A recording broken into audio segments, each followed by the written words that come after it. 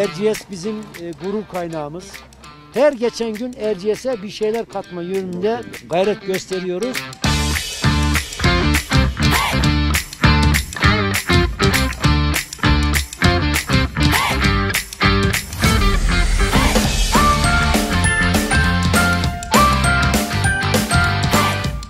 ...2020-2021 kayak sezonu inşallah hayırlı uğurlu olsun.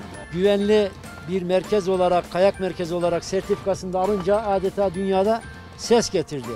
Elbette pandemi koşullarına uyan ve güvenli bir ortamda kayak yapmayı hepimiz amaçlıyoruz. Kurallara uyma yönünde de hepimiz gayret göstereceğiz. Malumunuz yurt dışından charter seferleri 19 Aralık'ta başlıyor. Haftada en az 10 uçak gelecek.